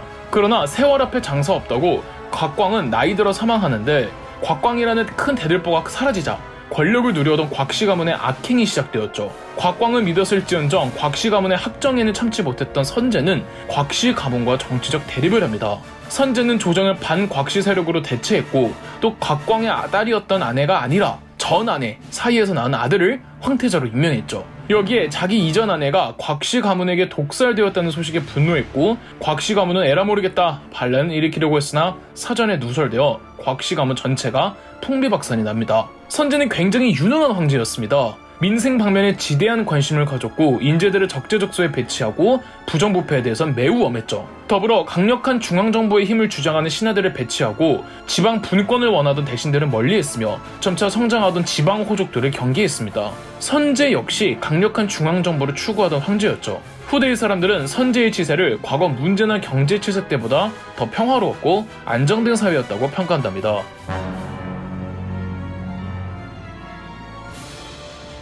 한 무제 때 개 박살난 흉노는 고비 사막 이북 몽골 초원에서 조금씩 세력을 회복해 가고 있었습니다. 그러는 동시에 점점 분열되고 있었는데 이미 앞서 흉노는 서흉노와 동흉노로 나뉘었다고 말씀드렸죠. 이 중 동흉노의 호하냐 선우가 한나라 황제에게 입조하여 흉노와 한나라의 조공 관계를 맺습니다. 그러곤 동흉노와 한나라가 연합해서 서흉노를 격퇴한 적도 있었죠.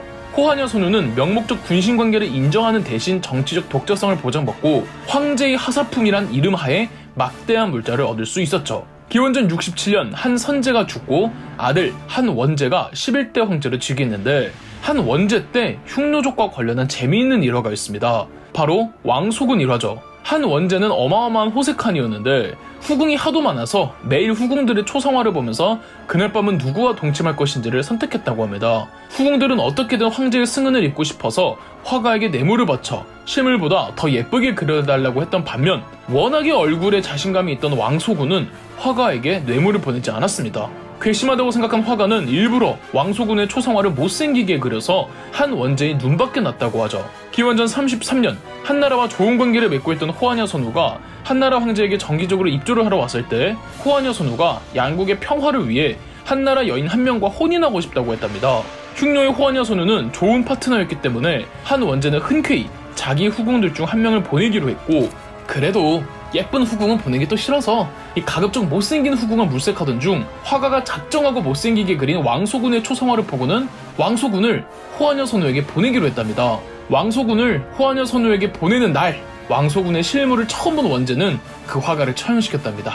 어, 반면 왕소군은 호하녀 선우와 혼인하여 오래오래 행복하게 살았고 무엇보다 유목민족들에게 한나라의 문화를 전파해 주어 흉노족을 문명화하는데 1등 공신이었습니다. 왕소군은 비파라는 악기 연주에 능했고 왕소군이 악기를 켜면 지나가는 기러기가 왕소군의 미모와 연주 실력에 떨어질 정도였다고 합니다. 한나라 후반기에 가면 한나라 조정은 현실 정치를 표방하는 법가 사상의 신하들과 도덕 정치를 주장하는 육아 사상의 신하들로 나뉩니다. 지난번 6부에서 왕소군 이야기를 하며 11대 황제 한 원제에서 이야기가 끝났었죠. 한 원제가 유학이 심취해 있던 황제로 법가 사상의 신하들이 대거 퇴출되고 육아 사상의 학제 출신 신하들이 조정의 주류를 이룹니다. 다 좋긴 한데 육아 사상은 원론적이고 관념적인 정책만 내놓다 보니까 정치적인 노련함이 없었고 현실성이 결여된 정책들 그리고 정통과 원리 원칙에만 집착하는 모습을 보입니다. 더불어 한 무제 이후 파탄난 경제가 한 원제 때부터 서서히 문제가 불거졌으며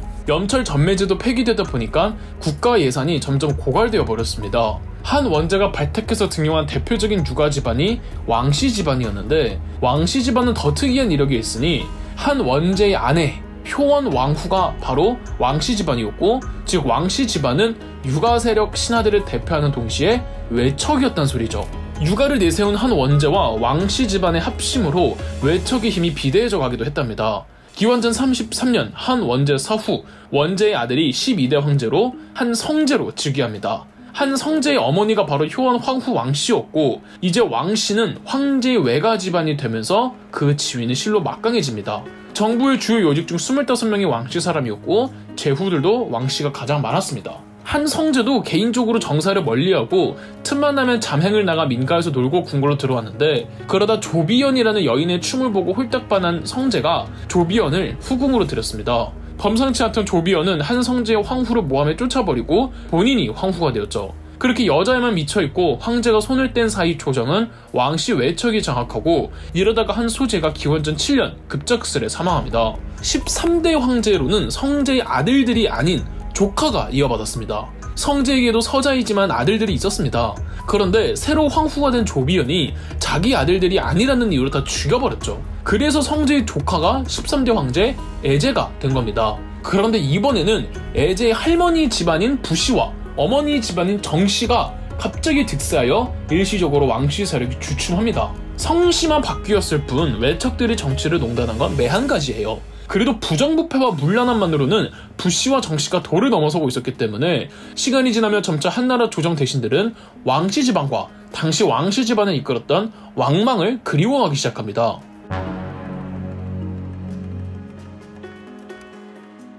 왕망은 효원 황후 왕씨의 조카로 왕씨 집안에선 약간 비껴나 있던 아웃사이더 같은 존재였습니다. 그래도 왕씨 집안의 위세가 하늘을 찌를 때 관직 생활을 시작했는데 다른 왕씨 사람들에 비해 왕망은 워낙 겸손하고 성실하고 공손하고 검소해서 평판이 좋았습니다. 심지어는 유학에 관해선 통달을 했었기 때문에 명민왕과 박학대식으로 금세 이름을 알릴 수 있었습니다. 왕씨 집안에서도 이런 왕망을 상징적인 인물로 내세웠고 높은 관직에 올라서도 왕망은 평소 행실에 변하는 거 없이 일 처리를 깔끔하게 하고 인사 채용에 있어서는 공정한 입장을 취하려고 했죠.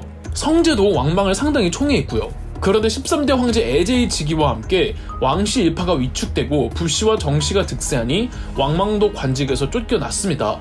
이러니 세상 사람들이 부씨와 정씨의 전행에 신분이 나서 왕망을 더 그리워했던 겁니다. 그러나 권력보다 센 건 뭐다? 세월이다. 에제의 할머니와 어머니도 나이가 들어 병사하자 에제는 왕망을 지지하는 여론을 살피고는 기원전 5년 왕망을 재등용합니다.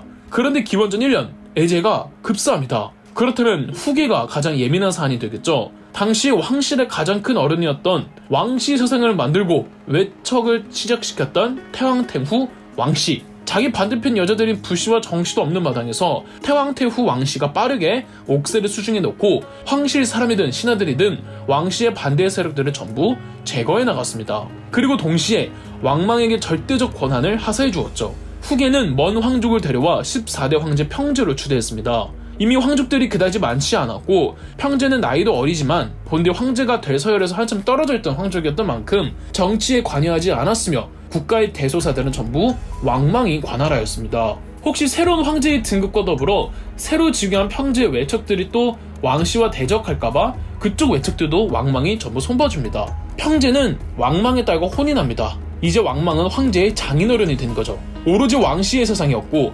한나라는 왕망의 것이었습니다. 서기 6년 평제도 16살의 나이로 사망합니다. 연이어 황제들이 요절하니 황족들이 얼마 없었고 왕망은 2살짜리 황족 유자영을 15대 황제로 추대합니다만 왕망의 호칭이 황제 폐하만 아니었을 뿐 행실과 권력 모든 것들은 뭐 황제나 매한까지였습니다. 왕망 스스로도 본인을 가황제, 섭황제라고 불렀습니다.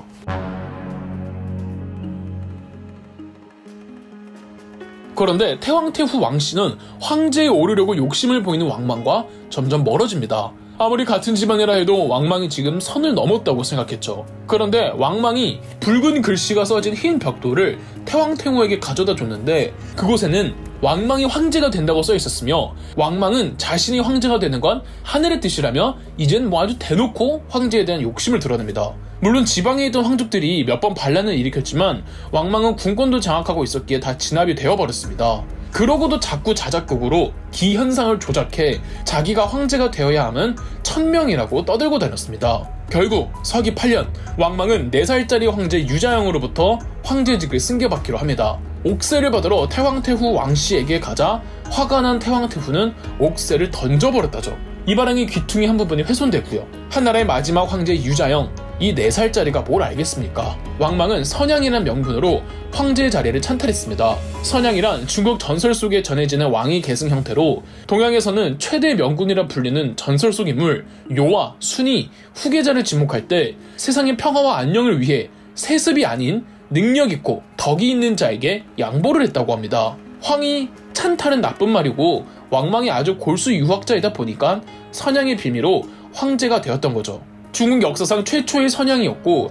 두 번째 선양 사례가 나중에 조조의 아들 조비가 헌제로부터 황제직을 찬탈할 때였습니다. 뭐 여하튼 서기 8년 왕망이 황제에 등극했고 왕망은 국명을 한나라에서 신나라로 바꾸었습니다. 수도는 여전히 장안이었죠. 폐위된 마지막 황제 유자영은 황제 시호를 받지 못하고 정한공이란 낮은 자기를 받고 계속 감시를 받으며 유폐 생활을 했다고 합니다. 이렇게 새로운 황제가 된 왕망은 빌런 짓을 해야 됩니다. 그런데 왕망의 빌런 짓은 살짝 유형이 달랐습니다. 보통 무능한 폭군은 정사를 돌보지 않고 사치와 향락에 빠져 살잖아요. 왕망은 반대로 의욕이 너무 과했습니다.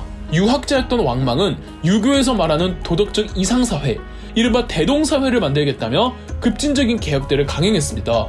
유토피아든 대동사회든 다 이상 속에 있는 허구의 사회잖아요. 그런데 왕방은 그걸 억지로 어떻게든 그런 사회를 만들어 보겠다고 나섰죠. 우선 화폐 개혁을 시도했는데 기존에 유통되던 오수전의 50배에서 심하면 5,000배에 달하는 가치의 화폐를 유통시키는가 하면 당연하게도 하이퍼인플레이션이 찾아오자 새로운 화폐를 다시 만들었다가 중단시켰다가를 반복하면서 일관성 없는 화폐 정책으로 경제가 쑥대밭이 됩니다. 그리고 사유재산을 금지시키고는 토지는 국가가 알아서 기준에 따라 지급하였습니다.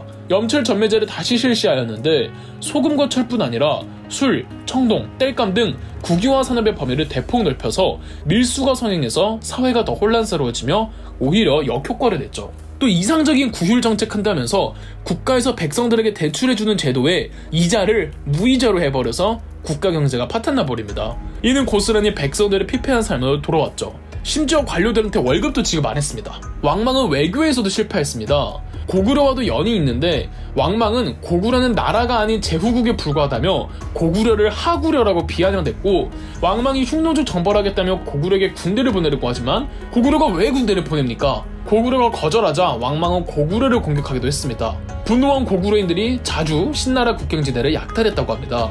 물론 왕망의 신나라 정부는 대응하지 못했고요. 이때가 고구려 2대 왕인 유리왕 때였습니다. 장건의 실크로드 탐방 이후로 한나라가 국교를 맺어온 서역의 국가들에게도 왕망은 모욕하고 제멋대로로 나가니까 반발을 사서 서쪽 국경지대도 전투로 하루도 조용할 날이 없었습니다. 윈난성에 있던 이민족의 나라 구정왕을 토벌하고자 20만을 동원했다가 뭐 구정왕은 살해하지만 20만 중 절반가량이 전염병으로 죽는 일도 있었습니다. 뭐 무엇보다 흉노족이죠.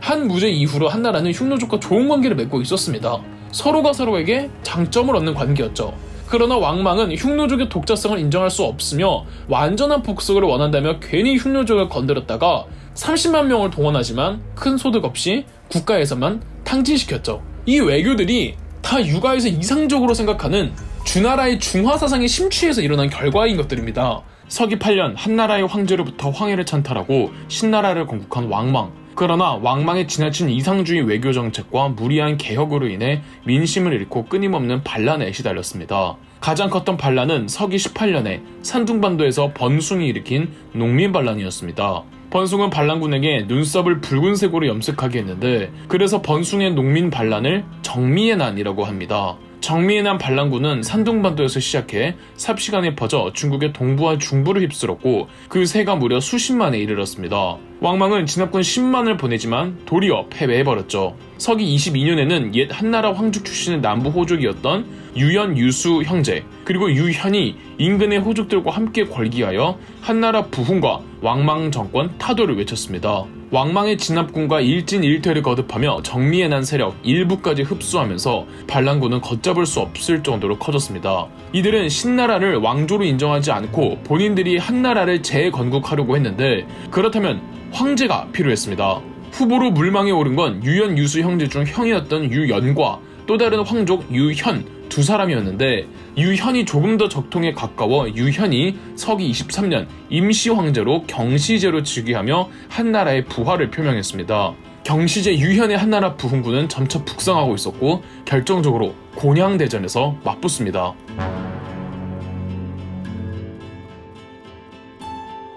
한나라 부흥군의 간부들은 곳곳에 요충지들을 장악하고 있었는데 그중 지금의 중국 허난성 부근 곤양이란 곳엔 유연 유수 형제 중 동생이었던 유수가 지키고 있었습니다. 왕망은 왕읍을 총사령관으로 삼은 진압군 무려 42만 명을 동원했습니다. 이 42만 명의 신나라 군대는 곤양부터 공격하기로 하고 진군을 했는데요. 곤양성에서 유수가 보유하고 있던 군대는 고작 1만, 도저히 싸워서 이길 수가 없었습니다. 곤양성에 있던 유수는 1만의 군대로 싸울 수 없다며 지원병을 데려오겠다고 했고 12명의 부하들과 본인까지 합쳐서 총 13명만으로 성문을 열고 나가 42만의 포위를 뚫고 구원병을 찾아 나섰습니다. 그 사이 곤양성은 신나라군의 맹공에도 겨우 겨우 버티고 있었습니다. 구원병을 찾으러 떠난 유수는 그렇게 큰 병력을 모진 못했습니다. 다들 42만의 대규모 군대를 무서워했죠. 언제까지 시간을 끌 수 없었던 유수는 그나마 모은 3천 병력을 데리고 곤양성으로 돌아가기로 합니다. 그러나 이미 곤양성은 포위되어 있는 상황에서 유수는 목숨을 걸고 3천을 이끌고 그냥 돌파하기로 합니다. 왕음은 부사령관 왕심에게 1만의 병력으로 유수의 3천 병력을 맡게 했는데 왕심은 전투 도중 전사합니다. 부사령관급이 죽자 신나라군은 우왕좌왕했고 이 사이에 유수는 3천명으로 적진을 휩쓸어버리며 적당히 부대의 대우를 흐트러버리니까 오합지졸이었던 신나라 군대는 그대로 싸우지도 않은 채 도망가 버립니다. 오히려 도망가다가 강물에 빠져 죽은 수가 굉장히 많았다죠. 이렇게 유수가 엄청난 대승을 거두었고 42만은 신나라의 주력 부대였기 때문에 이 부대가 어이없이 와해되면서 신나라군은 병력 자체가 없어져 버립니다. 이 전투가 곤양대전입니다. 경시제는 기세를 몰아 그대로 신나라의 수도 장안으로 진격해 포위합니다. 왕망은 끝까지 버티지만 장안 내 민심이 워낙 왕망에게 안 좋아서 백성들이 직접 성문을 열었고 한나라군은 그대로 장안으로 들어와 점령합니다. 궁궐에 있던 신하들과 장수들 전부 항복해버리고 왕망은 사흘간 항전하던 중 부하들에게 피살되고 시체가 갈기갈기 찢기며 끔찍한 결말을 맞았습니다. 서기 23년 이렇게 신나라는 멸망했고 고작 15년간 황제 한 명뿐이었던 신나라는 중국 역사상 최단기 왕조로 끝이 나버립니다. 그리고 경시제가 한나라의 부활을 선포했습니다. 그런데 경시제가 상당히 경계하던 사람들이 있었죠. 바로 유연 유수 형제였는데요. 이들도 황족이라 얼마든지 황제가 될 자격을 갖추고 있었습니다. 특히 곤양대전에서 유수의 화력으로 이들의 입지가 매우 커졌으며 유연 유수 형제 중 형이었던 유연에 대한 지지도가 압도적이었습니다. 황권에 불안했던 경시제는 형 유연에게 누명을 씌워 처형해버렸습니다. 아직까지 경시제와 전면전을 치르기 애매했던 동생 유수는 바로 형의 복수에 나서지 못하고 몸을 사려야만 했습니다. 그리고 한때 왕망에게 황해를 빼앗겼던 마지막 황제 유자형마저도 살해합니다. 이 경시제는 새로운 황제가 된 입장에서 이전 황제였던 유자형이 거슬렸겠죠. 그런데 때마침 지금의 중국 허베이성 쪽에서 왕랑이라는 군벌이 반란을 일으켰습니다. 그 반란 세력이 작지 않아서 경시제는 능력만큼은 탁월했던 유수를 불러들여 왕랑을 진압하게 했습니다. 유수는 군대를 이끌고 왕랑을 진압했는데 경시제는 그 공을 치하하겠다며 회군 명령을 내리지만 유수는 거부하고 그곳의 호족들과 농민들을 다스리며 그들의 지지를 받습니다. 만약 반란이 일어나면 유수는 무력으로 진압하기보다는 자기 세력으로 포섭해버렸죠. 또 근처에는 유수의 고향이었던 남양도 있었습니다. 유수의 몇 대손 선조 때 그 종파가 남양 땅을 분봉받은 이후 유수 때까지 남양이 호족으로 군림했었고 맨 처음 유연 유수 형제가 신나라로부터 걸기할 때도 남양에서 거병했었거든요. 유수는 본인의 근거지였던 남양과 반란군을 토벌하며 새롭게 다신 허베이성 전체를 세력적으로 확대하며 경시대의 한나라 정부를 거부 서기 25년 지지 세력으로부터 추대되어 황제에 진극하니 바로 광무제였습니다. 수도는 자신의 근거지 중 대도시였던 낙양을 삼고 광무제는 본인의 한나라야말로 정통 한나라라며 경시제의 한나라를 부정했습니다. 이제 경시제의 한나라와 광무제의 한나라가 맞붙어야 하는데 과거 경시제의 한나라군에 합류하지 않았던 정미의 난 일파가 장안으로 침투하여 경시제를 암살하는 바람에 어이없이 경시제의 한나라는 쉽게 무너졌습니다. 정미군은 말 그대로 농민 반란군인데 이들이 무슨 통치를 하겠습니까? 수도 장안은 무정부 상태가 되어버렸고 치안은 엉망진창이 되어버렸습니다. 이런 장안을 광무제 유수가 빠르게 접수하는데 성공합니다. 확실히 광무제가 이 그릇 자체가 황제감인 게 과격한 리더들만 처형하고 나머지 농민 반란군은 사면해주면서 자연스레 정미군은 해체되고 일반 농민으로 돌아갔습니다. 이로써 낙양의 광무제 한나라가 유일무이한 정식 한나라 정부가 되었습니다. 하지만 장안과 낙양에서 멀리 떨어진 외진 지방에서는 아무래도 중앙정부의 힘이 많이 미치지 못하니까 지방 대호족들이 군벌이 되어 한나라로부터 독립해버린 상태였습니다. 신하들은 이 지방 군벌들을 조속히 토벌하자고 했으나 광무제는 장왕과 낙양이라는 핵심 중원을 장악했으니 그 외적으로는 크게 볼 필요가 없소 라고 말을 했는데 이 말을 도외시 세 글자로 말을 했다고 합니다. 도외시라는 단어가 광무제가 만든 말이었죠. 물론 느긋하다기보다는 감정적으로 나가기보단 신중하게 군사 준비를 착착 진행해 가겠다는 것이었고 광무제는 약 10년간 허난성의 유영, 안후이성의 이헌, 후베이성의 진풍 등을 토벌했고 이제 남은 건 간수성의 외효와 스촨성의 공손술 뿐이었습니다. 먼저 간수성의 외효를 토벌하는데 이제 남은 건 스촨성의 공손술 하나인 상황에서 광무제는 겉으로는 큰 욕심이 없다는 겸손함을 내비추기 위해 이런 말을 했다고 합니다. 당시 간수성을 농이라고도 별칭으로 불렀는데 외효가 다스리던 농 땅을 얻었는데 또 공손술이 원하던 촉을 원하느냐며 인간의 욕심은 끝이 없다는 점을 지적했는데 여기서 유래한 사자성어가 득농 망촉입니다. 당연히 겉으로만 그럴 뿐 광무제는 공손수를 손볼 생각이었고 서기 37년 공손수를 끝으로 스촨성까지 점령하며 마침내 중국 재통일 대업을 완수합니다. 이런 거 보면 광무제는 속으로는 욕심 덩어리지만 겉으로는 욕심 없는 척 깨끗한 모습의 이미지 메이킹을 잘했던 황제였던 것 같네요. 이로써 광무제가 한나라를 부활시켰습니다. 중간에 왕망이 신나라를 건국하며 한나라의 맥이 단절되었는데 그래서 신나라 이전에 한나라를 전한 신나라 이후에 한나라를 후한이라고 부릅니다. 광무제가 후한의 초대 황제였죠. 광무제는 굉장히 유능한 황제로 신나라 왕망에 의해 어질러졌던 국가제도를 전부 다시 전한 때의 제도로 돌려놓았습니다. 왕망 때 시행됐던 비현실적인 제도들 전부 철폐되었고 백성들 세금을 감면해주며 징병제를 모병제로 바꾸며 군역의 부담도 덜어주었죠. 오수전도 재발항의 화폐를 오수전으로 통일해 화폐 제도도 원상복구하고 왕망 때문에 단절되어 있었던 고구려와도 국교를 회복합니다. 당시 고구려의 왕은 3대 왕 대무신왕이었죠. 광무제의 연호가 건무였는데 그래서 광무제의 치세를 건무 성세라고도 합니다. 이런 광무제는 재위 33년 만인 서기 57년 사망합니다. 어, 한구조 유방에 밀려 광무제의 인지도가 그렇게 높지는 않은 것 같은데 광무제도 한나라 역사 통틀어서 입지 전지적인 인물이랍니다. 서기 57년 후한의 1대 황제 광무제가 사망하고 그의 아들이 2대 황제 명제로 즉위하였습니다. 명제는 후한의 대표적인 명군으로 손꼽히며 아버지 광무제가 닦아놓은 새로운 한나라를 빠르게 안정시키는데 크게 일조했습니다. 특히 대외적인 측면에서 여러 업적을 남겼는데요. 한 명제 때 북방의 흉노족이 친한나라 성향과 반한나라 성향으로 나뉩니다. 친한나라 흉노족은 남흉노로, 반한나라 흉노족은 북흉노로 불렸는데 남흉노의 선우가 직접 자신의 부족을 모두 이끌고 한나라로 내려와 만리장성을 방어하겠다고 자청하면서 만리장성 아래에 남흉노가 거주할 수 있는 땅을 만들어 달라고 부탁합니다. 한 명제는 흔쾌히 수락해 주었고 서기 73년 두고와 반초를 사령관으로 남흉노와 연합해 북흉노를 상대로 전쟁을 벌여 크게 승리했습니다.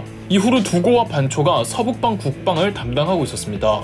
선선국이라고 또 다른 소수민족이 세운 작은 국가가 있었는데 반초가 선선국을 한나라 편으로 끌어들이려고 찾아갔으나 그곳에 이미 북흉노 쪽 사신들이 있던 겁니다.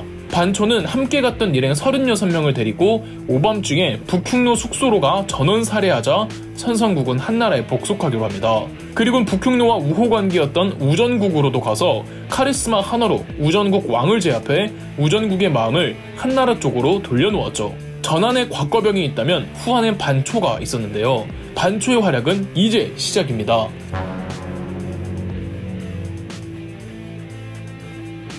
서기 75년 명제가 죽고 장제가 후안의 3대 황제로 즉위했습니다.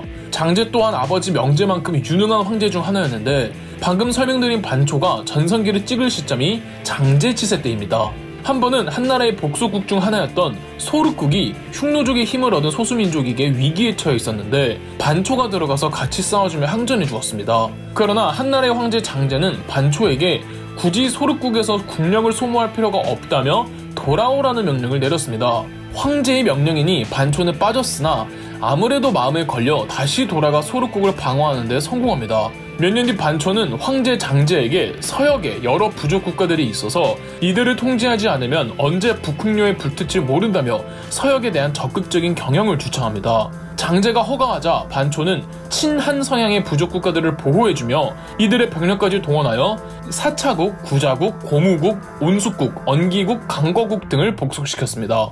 또 서역에선 그나마 역사도 깊고 세력도 큰 편에 속한 월지국이 7만의 병력으로 쳐들어왔을 때도 반초가 공격을 막아내고 기습으로 반격까지 해 큰 승리를 거두었고 그대로 더 나아가 월지국을 아예 정벌해버렸습니다. 이후 가장 북흉류의 우호적이었던 귀차국까지도 평정했죠. 반초가 평정한 서역의 부족 국가들만 무려 50여 국에 이르렀습니다. 그래도 가장 큰 건 북흉류였습니다. 장제는 북흉로를 그대로 두면 반초를 통해 평정한 서역을 언제까지고 오래 지속할 수 없다고 판단하여 서기 89년 남흉노와 연합해서 4만의 병력으로 대대적인 북흉노 원정 전쟁에 나섰습니다. 장제는 북흉노 원정의 끝을 보지는 못했고 그 다음 4대 황제를 즉위한 장제의 아들 화제 때 북흉노 원정이 대성공으로 마무리되었습니다. 남흉노의 선우들은 한나라 황실의 성실을 하사받았고 이후 계속 한나라의 복속을 받으며 살아가다가 나중에 반기를 들어 5호 16국 중 일부를 형성합니다. 북흉노가 격퇴되고 비어있는 몽골 초원에는 선비족이라는 유목민족이 들어와 자리를 잡았습니다. 그리고 격퇴된 북흉노는 중앙아시아와 동유럽까지 이주하게 됩니다. 그렇게 북흉노의 서진에 따라 중북부 유럽에 분포하던 게르만족이 북흉노에게 밀려서 대거 남하합니다. 이게 그 유명한 게르만족의 대이동입니다. 게르만족의 대이동이 훈족의 이동에 따라 남하했다고 하는데 이 훈족이 바로 북흉노라는 설이 지배적입니다. 물론 설이며 아직까진 정설은 아니고 훈족의 정체에 대해서는 어, 해석이 다양하답니다. 다시 반초로 돌아오자면 북흉노를 격퇴한 이후 반초의 서역 경영이 한층 수월해집니다. 반초는 황제 장제의 지시에 따라 서역 도호부를 설치하며 본격적으로 서역을 개척합니다. 그러곤 한 무제 때 장관이 개척한 실크로드를 더욱 개발하고 확장시켜서 이란의 페르시아와 인도까지 진출합니다. 그 사이에 있는 여러 작은 부족 국가들과 통교하며 무역도 활성화해서 반초 덕에 후한은 전한 때보다 더 넓은 곳까지 진출합니다. 서기 97년 반초는 부하 가명을 통해 더 서쪽으로 보내다가 중국 기준 세계 가장 서쪽 끝에 있는 나라라고 생각했던 대진국으로까지 가게 됩니다. 이 대진국이 바로 로마였습니다. 사실 가명이 어, 로마 땅을 밟아보지는 못했고 로마라는 나라의 존재만 알고는 돌아와 반초와 한나라 정부에 보고했다고 하죠. 만약 이때 반초가 황제의 지지를 받아 더 서쪽으로 나아가 로마와 통교를 맺었다면 역사는 어떻게 또 변했을지 모르는 겁니다. 서기 100년이 되면 반초도 나이가 들어 거친 서역에서 일하기 힘들어 퇴임을 원했고 그렇게 서역을 주름잡던 사막의 전갈 반초는 상소를 올린 지 2년 만에 고향으로 돌아올 수 있었습니다. 그러나 새로 황제가 된 화제 이후로는 서역 경영에 대한 관심이 뚝 떨어지면서 얼마 안가 서역 도우부는 107년 폐지되었습니다.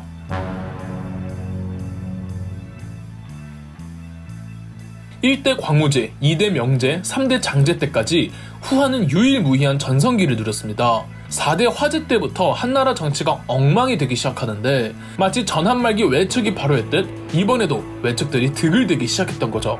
화제는 어린 나이에 즉위했기 때문에 양어머니였던 두황후가 섭정을 했는데 외척인 두씨가 조정을 장악하고 특히 두헌을 필두로 하여 국정을 농단했습니다. 몇 년 뒤 화제는 고작 청소년의 나이임에도 두씨의 전횡을 두고 볼 수가 없어서 황제를 곁에서 모시는 환관들, 특히 환관 정준과 함께 두씨 세력을 일거에 타도해버립니다.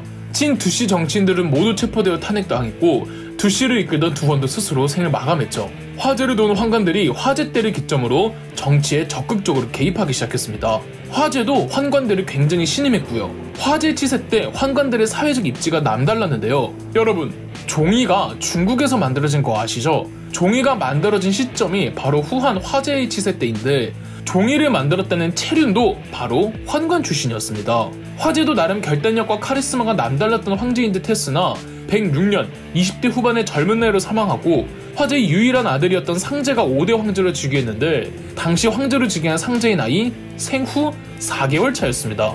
당연하게도 화제의 황후였던 등태후가 섭정을 맡았고 이제는 등씨 가문이 외척이 되어 조정을 장악했습니다. 기본적으로 황제나 왕이 어린 나이에 즉위했다면 태후 집안 외척의 정치적 발언권이 강해질 수밖에 없습니다. 단 전한 때부터 불과 얼마 전 화제 때의 두시 가문처럼 전횡을 일삼는 외척들의 결말이 얼마나 비참했습니까?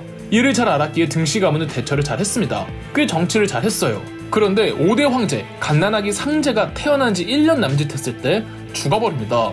등씨 가문은 부랴부랴 다른 황족을 6대 황제 안제로 앉혔는데 안제도 즉위했을 나이 13살, 어리죠. 어떻게 되겠습니까?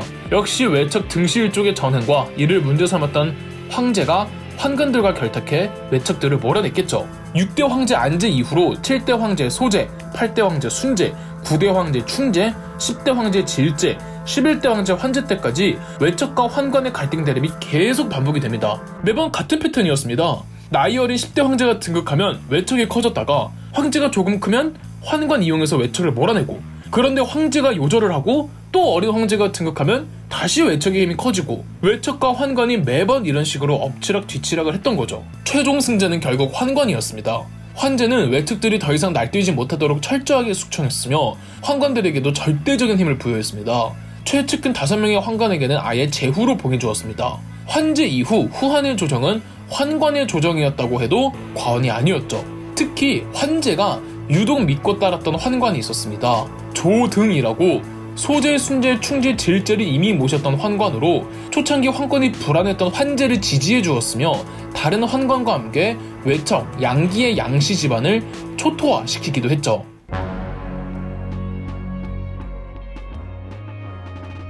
외척과 환관들의 대립이 한창이던 치세에 국가의 행정 실무를 담당하는 조정 대신들과 유학자들은 어떤 정치적 입장을 보였을까요? 환관이 성장할 수 있었던 건 외척의 힘이 지나치게 비대해지자 이들을 견제하고자 황제가 최측근들을 등용하면서 부터였습니다. 즉 비정상적인 정치 권력 구조의 첫 원인은 외척들이 권력을 주무르면서부터였죠. 이에 대해 유학자 출신의 대신들은 두 가지 중 하나였습니다. 정치의 환멸을 느끼고 정계에서 물러나 지방으로 낙향한 유학자들, 그리고 끝까지 조정에 남아 환관들과 힘을 합해 외척들을 정치적으로 공격하던 대신들, 이렇게 말이죠. 전자를 청류파, 후자를 탕류파라고 불렀답니다. 환제 때 환관들이 양기 등 양씨 외척들을 몰아내면서 환관들의 세상이 되면서 탕류파들 또한 조정을 주도하였습니다. 단, 이 외척들을 몰아낸 환관들도 그다지 도덕적인 존재들은 아니었습니다. 환관들도 불법적인 재산 축적, 정경 유착, 정기에서 카르텔을 만들어 한 나라의 병폐들을 쌓이게 했고 환관과 결탁한 탕류파 대신들도 부정부패를 일삼았죠. 외척이냐 환관이냐 그 정도 차이였을 뿐 특정 집단이 권력을 독점하고 사회적인 민생 정책엔 관심을 두지 않는 현상은 그대로였습니다. 이에 따라 제야의 청류파 유학자들은 환관들과 탕류파의 부정부패를 호되게 비난하는 상소문을 연일 올렸습니다. 166년 환관들을 비난하는 사회적인 여론은 청류파들과 그리고 오늘날의 대학생이라고 할 수 있는 태학의 학생들 무려 3만 명이 나서서 환제에게 환관들을 내치라고 올렸지만 환관들의 기반은 매우 강했습니다. 오히려 환관들이 환제를 부추겨서 청류파의 대학자이자 모든 태학 학생들의 존경을 받던 이응 등 200여 명을 체포했습니다. 황제였던 환제가 직접 신문을 주도하는데 조사를 하면 할수록 오히려 환관들의 지난 전행들이 더 드러나는 게 아닙니까? 차마 환관들을 내치지는 않으려고 했던 환제는 이응 등 체포한 200여 명을 처형하지는 않고 석방해 주지만 영원히 관직을 받을 수 없는 종신 금고형을 내렸습니다. 이를 제1차 당고의 화라고 합니다. 영원히 관직을 받을 수 없다는 처벌이 강해 보이긴 하지만 당시 환관들이 워낙에 환제를 쥐고 흔들어서 당장이라도 청류파 200여 명을 처형할 수도 있었습니다. 그때 그나마 가운데서 중재를 했던 사람이 환관들의 수장 중 한 사람이었던 조등이었습니다. 바로 조조의 할아버지였죠. 비록 환관이고 청류파의 반대 세력이었지만 조등은 그래도 합리를 아는 환관이었고 이 덕에 조등은 탕류파와 청류파 만인의 존경을 다 받는 존재였습니다. 어, 단 조등도 나이가 지긋해 환제에서 영제로 넘어가는 시기에 은퇴한 것으로 보입니다.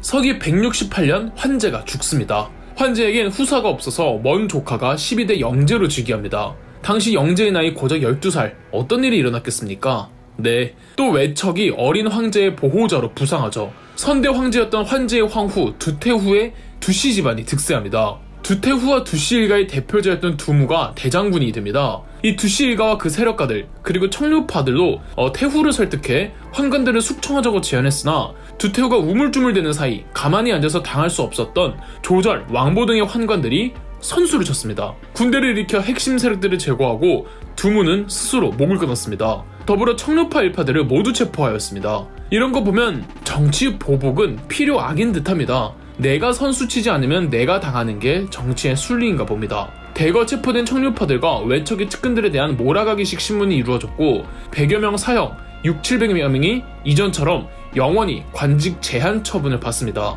169년 이 사건이 제2차 당고의 화이며 이후 청류파 선비들은 중앙정부에 진출하지 못하며 각자의 고향에서 그들끼리 지식인 사회를 이루고 있었습니다. 중앙정부는 이제 환관과 탕류파들로만 득실거렸죠. 그렇다면 지방의 청류파 지식인들이 사회 진출을 하기 위해선 어떻게 해야 할까요? 중앙 정부의 행정 지배력을 거부하며 걸기한 지방별 군벌들을 모시는 방법밖에 없겠죠. 나중에 삼국지에 나오는 영웅들의 책사들, 예컨대 순욱, 순유, 곽과, 정욱, 허유 등이 조조와 원소를 따랐던 이유인 겁니다.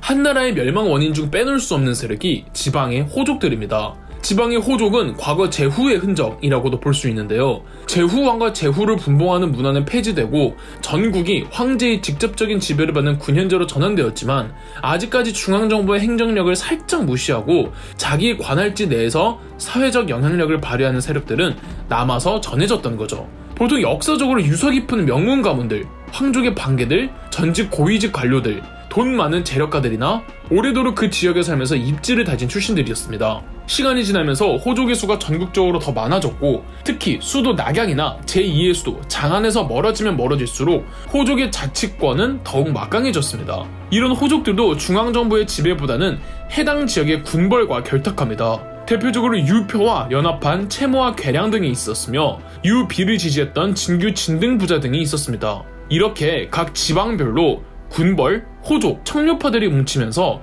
후한이라는 나라는 갈기갈기 찢어지게 되는 겁니다. 호족의 등장은 비단 후한 말의 상황이 아니라 전한 후한 역사 전반을 아우르는 현상이었는데 특히 황제가 제 역할을 하지 못하니 후한 말에 현상이 더 심해졌던 거죠. 결정적으로 지방 군벌을 키운 하나의 거대한 사건이 있었으니 바로 184년 일어났었던 황건적의 난입니다. 태평교라는 사이비된 제가 중국 중북부 지방으로 퍼지며 교주였던 장각이 수십만에 이르는 태평교도들에게 노란 두건을 두르게 한 뒤 농민 반란을 일으켰습니다. 워낙 여러 곳에서 일어났지만 중앙정부는 황건적의 난을 진압할 여력이 안 되자 지방별 자체적으로 병사들을 데리고 걸기하여 황건적의 난 진압전에 투입이 됐고 공을 세우자 중앙정부로부터 관직과 벼슬을 제수받으면서 군벌이 공고해진답니다. 비단 황건적의 난이 아니더라도 내부적인 소규모 반란과 외부 유목민족의 반란은 산발적으로 계속 일어났고 반란이 일어나면 일어날수록 군벌 형성의 폭이 더 넓어졌던 겁니다. 유비나 공손찬이나 강동의 손실가나 다 이런 맥락이었습니다.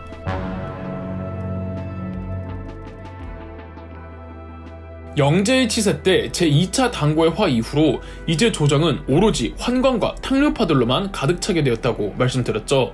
황제였던 영제는 뭘 하고 있었냐고요? 영제는 중국사에서 대표적인 암군으로 손꼽힙니다.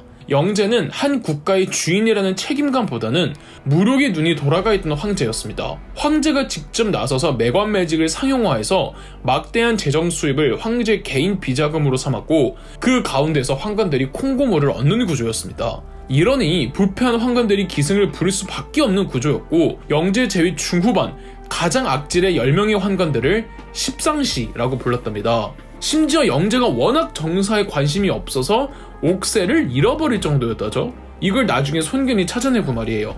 여하튼 환관과 결탁한 탕류파들도 문제가 많았습니다. 당시 탕류파에서도 가장 힘이 센 권세 가문은 아시다시피 원시 가문이었습니다. 원시 가문은 4대가 3공이었다죠. 세상 어디에 4대가 연속으로 국무총리 같은 수성직을 역임한답니까? 그 정도로 원시 가문은 후한말 최고의 가문이었어요.